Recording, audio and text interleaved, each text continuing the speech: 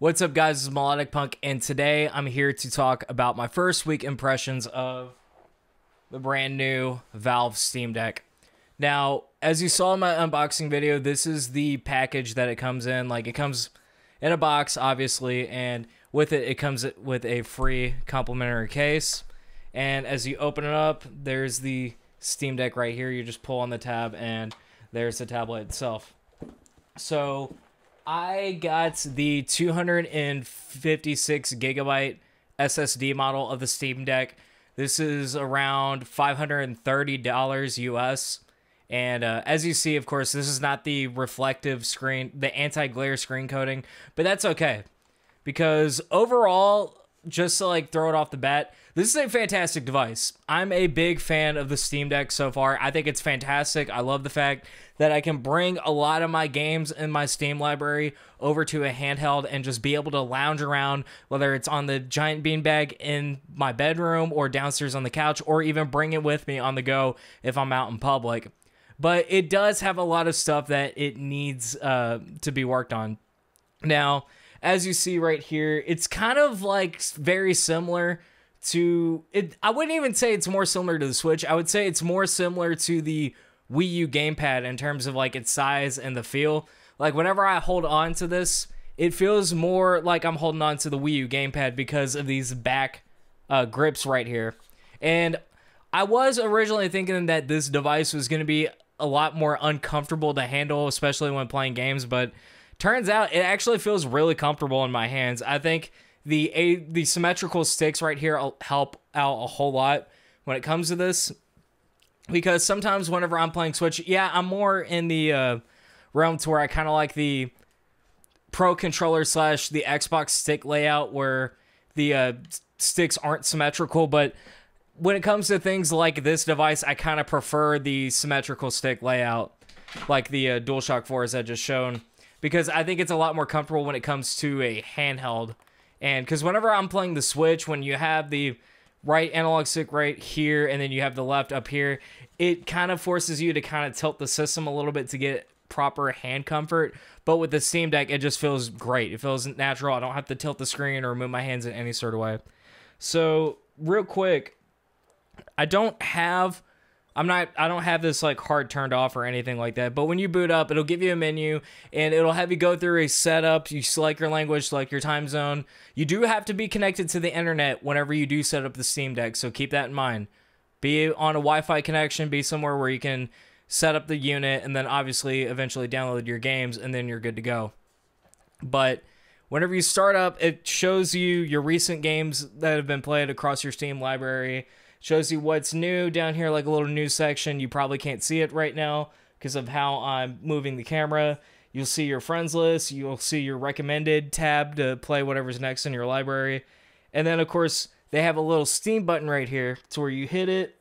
And at that point, it pulls up a little menu. You can go home, you can go to the library, go to your store, friends, media, your downloads. And then if you go down to power, you hit the power button you can either choose to go to sleep mode, shut down the unit, restart the unit, or switch to a desktop environment, which is pretty much like a Linux desktop machine as you would normally use. And the cool thing about this is not only can you use this as a portable gaming device, but it's pretty much a full blown Linux based PC at that point. So you can go to your desktop. Uh, the Linux build that they're using is based on Arch and the desktop environment is KDE Plasma. Linux guys, please let me know in the chat if I got that correctly. But what's really cool about this is because of this is basically like a built-in Steam controller. You have the trackpads, which are really good for naturally moving around the mouse around the desktop, and then you can click the trackpad or click the right analogs, uh, the right trigger right here to like click on your menu stuff. And it's very like intuitive. It's not like the most practical thing in the world but it's very intuitive to like use a full-blown desktop at the palm of your hand. And that's something that's been done before but it feels really good on a device like this. And of course obviously everything is connect powered by usb-c so if you wanted to connect your charger to charge the system which comes it does the system does come with a charger you can do that. If you want to add in a uh, one terabyte SSD to just plug in and right there, you can do that. Uh, obviously, a lot of USB C dongles are used for uh, you know HDMI connection and like on my Mac Mini right here, you can use that and pretty much uh, have a USB C dock ready to where you could plug into a monitor and use this thing like a proper desktop PC. And to me, that's really cool because it offers you kind of like that small bit of experience, uh, a small bit of taste, if you will, in terms of like a full desktop PC while also having the versatility of taking this on the go. And it's kind of like Nintendo Switch, but for PC. But where I kind of love the use out of Steam Deck is let's say I'm playing a game. Let me pull up my library real quick. I've been playing a lot of Hades on Steam lately. So obviously, I tried Steam on Xbox Game Pass. I eventually get the Steam version knowing that I was going to eventually play it on Steam Deck. And luckily, it's a verified game. More about that later. So yeah, if I want to go play Hades, I can go over to my couch downstairs, just play, you know, my Steam Deck while chilling with family in the room or like watching TV. Or let's say I wanted to go outside the house and I wanted to, for some reason, take my Steam Deck with me. I can play Hades, you know, enjoy it, you know, do multiple runs if I have to. And then I can go back over up here to the studio room at my Windows PC right here on the floor log into Steam, play Hades on that machine, and it'll automatically carry all my cloud saves over from that session on Steam Deck. And obviously, this works well if you have like a gaming laptop or any sort of like laptop computer that has Steam installed on it. Is that all your save data from whatever game you are playing travels with you, kind of like how Xbox Play Anywhere does it. And to me, that's awesome because, like I said, I have quite a few games on here. Like, for example, Monster Hunter Rise, which obviously came out on Nintendo Switch first. But the great thing about this, which makes Steam Deck awesome, is not only do I get the versatility option of playing this game portably, like how you normally would on Nintendo Switch, but I can take this, play Monster Hunter, grind for a little bit, do a couple of hunts, and then I can go over to my desktop, play Monster Hunter Rise on my current desktop PC, and play it at a much higher frame rate, much higher resolution, all that stuff. So you get the best of both worlds. You get the power of your main PC, depending on whatever you use, but you also get the aspect of being able to bring most of your library with you. And the reason why I say most is because there are some games that are purely verified they're purely verified to work on Steam Deck, meaning you're gonna have no issues at all. But there are also a lot of games that either haven't been tested yet, may have some sort of issues like small text or having to bring up an on-screen keyboard, which the on-screen keyboard's easy. You just hit the Steam button plus X and it'll bring up the keyboard at any time. But also there's a lot of games that are not verified yet or they just straight up don't work on Steam Deck. And this is the one drawback about this device that's probably going to have a lot of people question it. So there are some games that have not been verified, but I have no issue playing. One of the most popular examples, and most of you probably seen it on Twitter, Splitgate. Whenever I first uh, installed everything on my Steam, De- Steam Deck, I first played Splitgate because I'm a big fan of that game. I actually really like Splitgate. I haven't played much of it in a while, and I wanted to see if it actually worked on Steam Deck because when this thing first got revealed, I know the Splitgate guys they were posting about getting this up and running on Steam Deck and on Linux.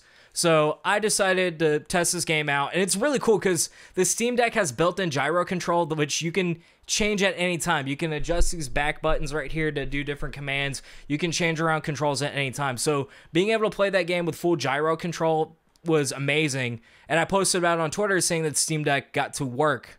Uh, no, Splitgate got to work on Steam Deck, and the official Instagram, uh, the official Twitter page of Steam Deck actually messaged me on Twitter asking how the performance was and they were talking about how they were going to do more to enhance it and it was really cool because they were like i think you're the first guy to actually post our game running on steam deck and they ended up retweeting me. So shout out to the team at 1047 games and splitgate for doing that. Like i'm very humbled by that. I'm a big fan of that game so yeah, Splitgate was one of those games that was not verified, but now is officially verified. I'm not gonna say it's because of me, but yeah, Steam uh, Splitgate is officially verified to work on Steam Deck.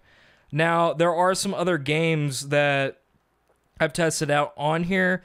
It'll do two. I actually played around with It'll do two for a tiny bit, and the game seemed to be running fine. It's of course it's an indie game. Monster Hunter Rise, I had no issues running at all. I didn't play any multiplayer on this. I normally run multiplayer with friends and uh, Monster Hunter Rise, but I was playing solo and I was doing absolutely okay. Uh, the one big like disappointment with the Steam Deck though is uh, games like Halo, the Master Chief Collection, and Halo Infinite. They are not supported on Steam Deck. However, you can play them. You can play Halo Master Chief Collection as long as you play the version that does not allow achievements and then disables the online to where you can like mod it or whatever. So you can play Halo Master Chief Collection, you're just not able to get any achievements or play online multiplayer. And that's because anything any game that uses uh, easy anti-cheat is not uh going to be able to work on Linux cuz I think they're how how it is is like there's no Linux kernel um, made for easy anti-cheat, so that's why a lot of the games that use that hook don't even um, run on a Steam Deck. But that's a very technical, like software level thing that I don't know if can be fixed or not. So Halo Master Chief Collection, it runs on Steam Deck, but it will not play online. It will not unlock achievements. Now, luckily, before I started making this video, there was an update made to get Windows drivers up and running that are made specifically for Steam Deck. So I did, of course, a couple things like with Windows at first. Like I got Cakewalk and EZdrummer and my guitar rig to run on Steam Deck just so for the novelty of it. But then a couple days later, they ended up throwing in the official drivers uh, of Steam Deck for Windows. So I reinstalled Windows, I tried it out, and I got the Windows version of Master Chief Collection on Steam running on this thing. And the multiplayer was working fine. Uh, I think the only issue I was having was uh, Wi-Fi related stuff because I had a bunch of stuff downloading. But yeah, Windows if once Valve officially offers the software to be able to dual boot uh, operating systems, this is where Steam Deck is really going to shine because you can have a partition available for Windows, so you can run all the Xbox Game Pass stuff. You can run the games that you want to play online but couldn't do because of Steam OS limitations. And then, of course, Epic Game Store is going to be a lot easier to access because of that. So there's a lot of potential there when it comes to Steam Deck, but right now it requires a lot of workarounds to get something going. And for me, I really don't want to be. I don't want to keep Windows installed on this thing. I'd rather wait until the dual booting software comes in because I did play some games on Windows on Steam Deck but I eventually went back to SteamOS just because the interface for the handheld is really good. And honestly, Proton, which is the uh, basically kind of like the software that takes DirectX games and has them read as Vulkan on Linux, it works really well to the point where it's like, well, dude, I'll just wait for the dual boot, dual boot option at first. And plus, this is more for like being able to play more of these indie games and games I have in the backlog. So for me, it's not that big of a deal. I know this part of the video is kind of long winded, but I am going to say Windows will work on this. It will play games on this. Games like Halo Master Chief Collection, you will be able to play multiplayer as long as you have Windows installed on this device and have the game installed on Windows.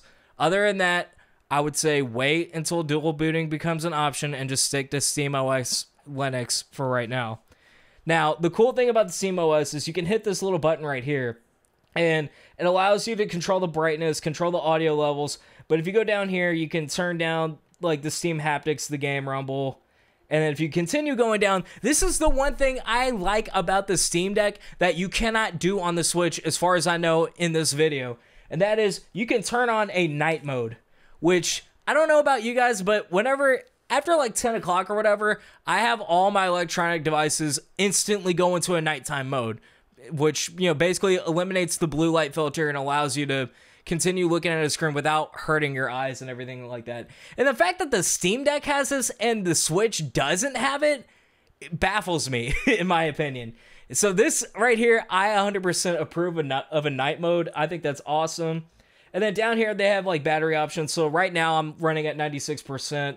And right now, I'm getting like five and a half hours left. But you have a performance overlay right here, which starting at level one, any game that you go and play, it'll show like your basic frame rate. But then as you uh, move the uh, overlay up a little bit more, it'll show you kind of like more of the performance information, like the CPU temperature, you know, all that stuff that you would want.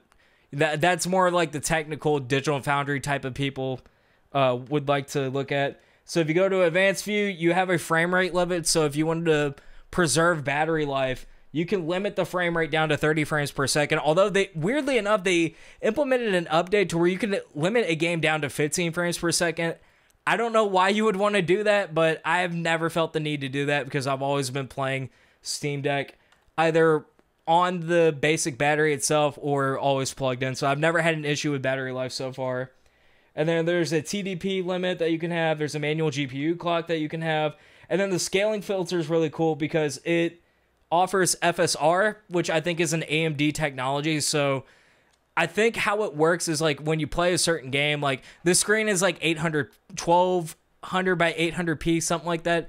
It's a very crisp looking display. Like every game I've been playing on this, like actually looks really damn good and really crispy for a screen of this size. Um, but basically, like FSR, I think is like a dynamic resolution scale. I haven't really used it that much. I haven't felt the need to use it because again, I'm not really running a whole lot of AAA games on this thing yet. And yeah, there's just a lot of, and then there's like a basic like help and support thing on here. So the games I have played on here, I have played a little bit of Hat in Time, which is like a 3D, you know, Mario 64 style platformer indie game. And I was getting okay performance on it. It was going to like 40 to 60 from what I felt. Obviously, like I would have to tweak around more with graphic settings on this. Um, Monster Hunter Rise, I was getting a solid 60 frames per second while playing that game on the average uh, settings. Hades runs like a dream on here. Death's Door runs like a dream on here. Uh, and I'm trying to think what else. Splitgate, I had everything on the lowest settings. I was getting 60 FPS. And I did try games like God of War 2018 out. And I was floating around like 45 to 50 frames at the highest as far as I remember. So like that was a game I definitely had to turn down graphic settings for or lock the frame rate on. But you know, with God of War in that scenario, I would just play it my desktop. Um, but yeah, a lot of AAA stuff I just have not fully tried out yet, mainly just because I think where a lot of people are kind of looking at the Steam Deck a little bit weird is a lot of people want a more powerful like Nintendo Switch. They want a more powerful handheld that's basically going to be able to handle more games. This is essentially the best way to look at it, a portable PS4. And that's amazing but you have to go in with the expectations of you're not going to get every single game running at 60 FPS on this device. Now, for games that I've played, like Halo Master Chief Collection, when I was running this on Windows, I was getting perfect performance, no dips at all. I was having a blast. Like, I, I can't wait till I get dual booting on here so I can continue to play Halo Master Chief Collection on this device. But games like God of War 2018, which you know, it's not a bad you know, optimized game for PC, but it, it does require a little bit more demanding hardware to get it running at the performance better than PS4. Um, that game can run on here just fine, but again, you're gonna have to take a lot of uh, compromises with that as well. So, for me, it's like this device does what I want it to do for me personally, and that is to take all my Steam backlog and allow me to play it on a portable device. So Games like a hat, uh, Spiritfarer, for example. I've put a lot of time in this game last year. The only reason I haven't beat it yet is because I don't want to sit at a desktop to play the game. Yes, I can take my desktop, plug it into a TV, or play it on a laptop or whatever, but I kind of regret regret not getting that game on the Switch initially, especially because of how laid back and relaxed that game is. With Steam Deck, I can take my current uh, play session of Spiritfarer, continue my save data on here on this device. And for some reason, if I want to move that session over to an actual desktop PC, I can do that. So for me, that's what is making the Steam Deck worth it so far. Taking the library I already own, be, being able to bring all my save data and all my cloud data with me, and then go back and forth between my main PC and uh, this device right here. So it is kind of a long-winded uh, first impressions I have on this thing, but I really do enjoy it. I think it's a fantastic device. I think the battery life is fine. Amazingly flawless for indie games. Some AAA games run well, others don't run that great. Um, the lack of multiplayer support for certain games kind of sucks. Um, obviously, with Linux, you're going to be able to find ways to play Battle.net games and you know EA games and all that stuff, but I really wanted to try to get Epic Game Store running up on this thing because uh, on Windows, Tony Hawk Pro Skaters 1 and 2 Remake ran perfectly fine at 60 FPS, but mapping the Steam controller stuff uh, with Steam software was kind of difficult on my end. So again, a lot of tweaks would have to be made in order to get this thing fully up and running. But so far, I enjoy it. It feels comfortable to play. I'm not getting rid of this. I'm keeping this as a, a portable gaming device. And honestly, as somebody who has not touched my desktop PC in quite a bit, I'm really excited to keep using this thing because I'd rather use this than a gaming laptop when it comes to portable gaming, just because this is more practical. I can actually sit down, relax, and play you know, a video game like this. Whereas a laptop, even though it's more practical for like, you know, doing productive work and all that stuff, it's, you know, it's still like not as comfortable as just sitting down with a handheld. So, to anybody out there who is getting a Steam Deck, keep your pre order. By the time you all get it, there's going to be more updates for this thing because Valve has been very consistent with putting out updates for the Steam Deck keep your pre-order because I think you're really going to enjoy this device as long as you can go in expecting a few compromises and being able to wait on a few things. Other than that, it's a fantastic device. Um, if you're really looking to like get a portable PC for like productive stuff like office work or like music and video editing on the go, then maybe look at a laptop. But if you're just wanting a secondary device to play all your backlog, to tinker around with stuff, and to play around with Linux out of the box, this is a great device to do that with. And I highly recommend it. If I had to give it a number, I'd probably give it an 8 out of 10. It's I'm really enjoying the Steam Deck and yeah, this video has gone long uh, the video has gone on long enough. So I'm going to go ahead and cut the video off right now. Thank you guys so much for checking out the unboxing video of the Steam Deck and checking out all the previous videos as well. Tunic comes out tomorrow. By the time I have this video up, I will probably already be playing it. Maybe I'll do a video on that. I know that game is Steam Deck verified, so I might do a separate video on the Steam Deck performance of that game. And yeah, guys, this is Melodic Punk signing out, and I'll see you all later. Take care.